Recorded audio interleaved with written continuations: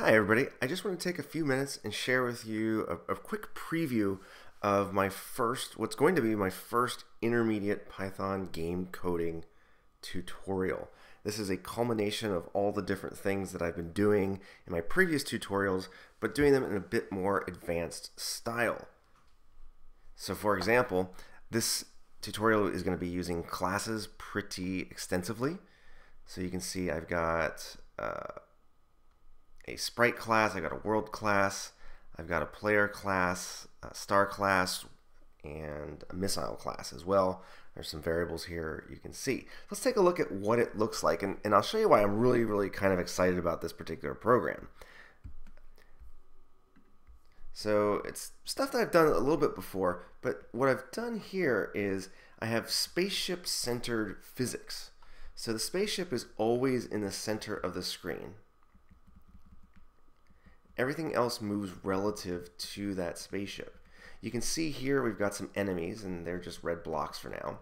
But I don't know if you can see it in the video, but you can see there's some stars in the background.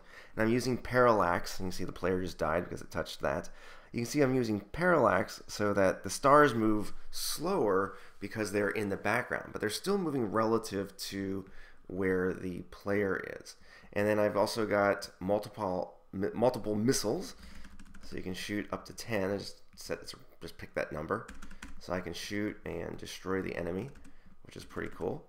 And you notice the missiles will stop after a while because they run out of fuel. And now what's also cool is if I'm going this way, the missile will go further. And I can actually, you know, I can actually catch up to it if I keep accelerating.